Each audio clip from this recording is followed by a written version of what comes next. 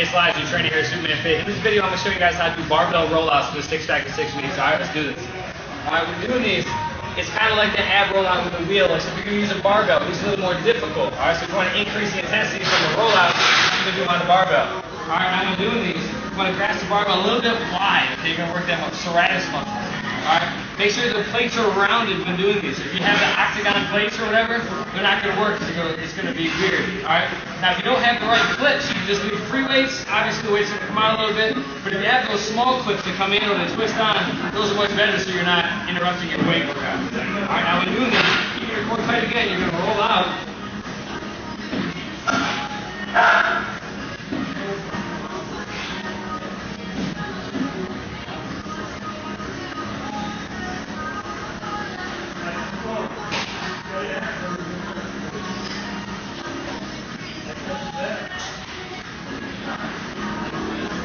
Alright, so those are a little bit more difficult. Alright, so those are my barbell rollouts for the six pack and six weeks. All right?